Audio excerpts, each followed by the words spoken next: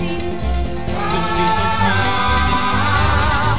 Meester Prikkebeen, meester De mensen